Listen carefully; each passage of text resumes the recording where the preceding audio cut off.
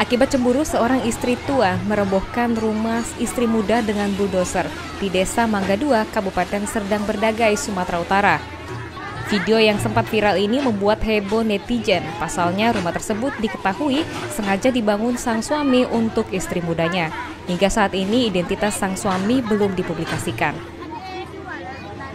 Dalam video berdurasi 8 menit tersebut, terlihat bulldozer merobohkan sebuah rumah hingga rata dengan tanah dan disaksikan puluhan warga. Dari Sumatera Utara, tim liputan Tribrata TV, salam Tribrata.